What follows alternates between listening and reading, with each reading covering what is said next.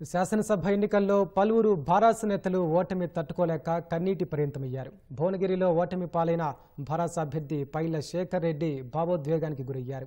భువనగిరిలో పార్టీ కార్యాలయంలో ఆయన్ను కలిసేందుకు వచ్చిన భారాస కార్యకర్తలు కన్నీరు పెట్టడంతో శేఖర్ రెడ్డి కూడా భావోద్వేగానికి గురై కన్నీరు కార్చారు. ఇక్కడి ప్రజలు రెండుసార్లు అవకాశం ఇచ్చారని ప్రభుత్వ అభివృద్ధి కార్యక్రమాలు సంక్షేమ పథకాలు ఇంటింటికి తీసుకెళ్ళానన్నారు.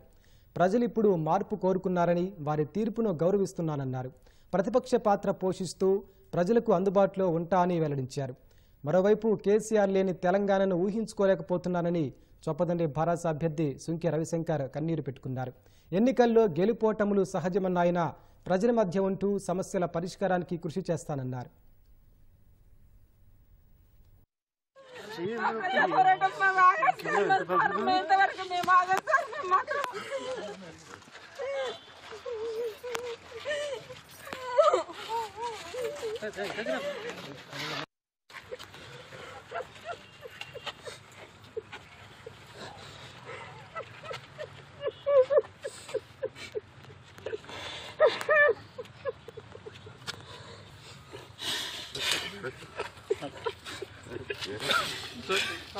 రామన్న లేని ఒక కేసీఆర్ లేని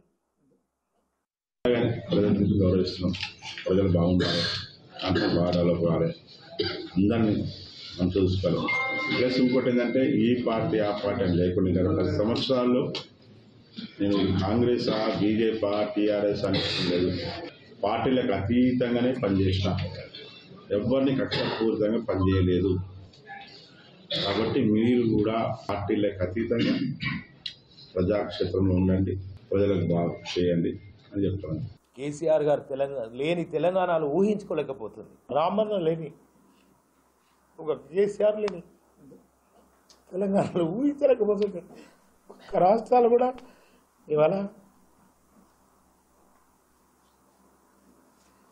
కొట్లాడ తెచ్చినటువంటి కేసీఆర్ లీడే అని ఇవాళ చాలా బాధపడుతున్న ప్రజలు.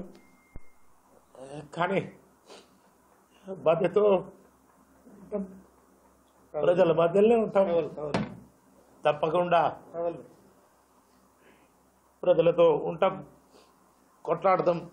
ప్రతిపక్షంలో ప్రజలకు కావాల్సిన అవసరాలని కూడా తీరుస్తామని చెప్పి తెలియజేస్తూ మరొకసారి కార్యకర్తలందరూ కూడా తెలియజేస్తా ఉన్నా. ఈ గుండెలో ప్రాణమంత వరకు మీకోసం ఉంటా. గులాబీ జెండా కోసమే ఉంటుందని చెప్పి తెలియజేస్తూ ఎవ్వరు ఆధారపడవద్దు. మన కేసీఆర్ కొట్లాడి తెచ్చిన తెలంగాణను కాపాడుకుందాం.